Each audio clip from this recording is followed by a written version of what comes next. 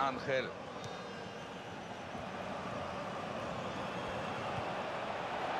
Wird das jetzt gefährlich? Angel! Der Ball prallt von der Latte ins Feld zurück. Er versucht den Volley.